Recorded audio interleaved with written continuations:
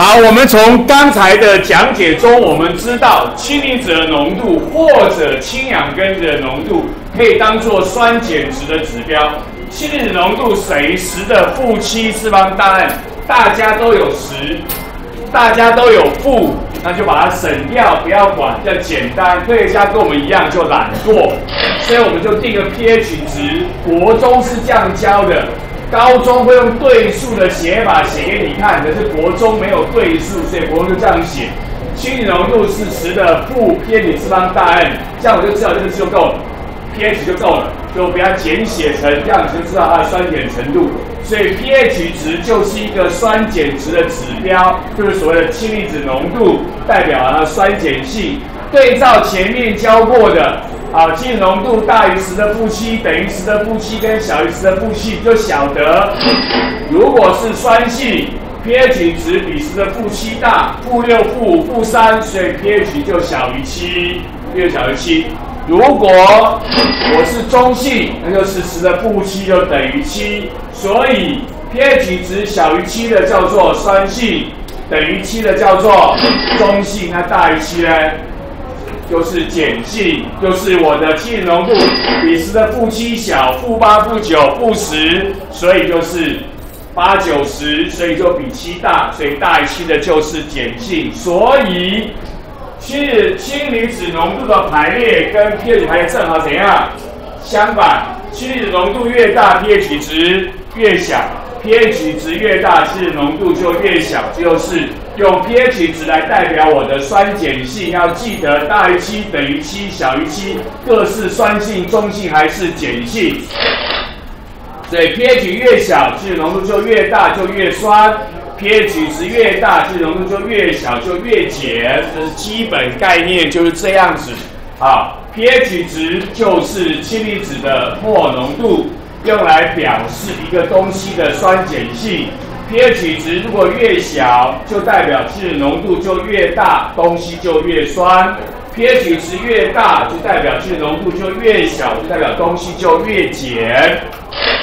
所以这有一个常见的 pH 值，有人会考，有人会问，稍微欣赏一下。胃液啊、硫酸啊、醋啊都酸性没有问题，注意一下那个尿。是酸的啊，尿酸、尿酸、尿酸，OK，没问题。牛奶有一点小小的酸性，牛奶有点小小的酸性，还有个血液，小小的一点碱性。有一些提倡素食人说血液要偏碱才会健康啊，肉吃太多了，血液会偏酸，会不健康。这句话其实是有点小问题。因为人的人类体内的 pH 值值变化都不会太大，不然早就挂掉了。不要挂掉，不要不会太大。好，血液然后海水也有一点碱，好，可以再然后看一下。这有人会问，欣赏一下就可以了。好，那有一个叫做酸碱指示剂，我们教过了，什么石蕊啊，什么之类的，它可以用它的颜色的变化来告诉我它是酸性、中性还是碱性。将石蕊试值，于是这个表格给过有没有？给过，请你背过对不对？石蕊酸中颜色、碱中颜色、分态都有。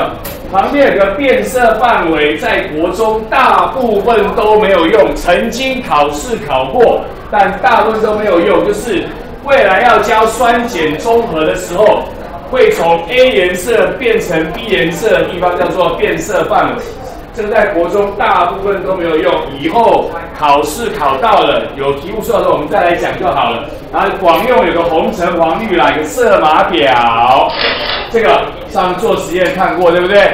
就是看它的颜色，大致判断它的 pH 值是多少。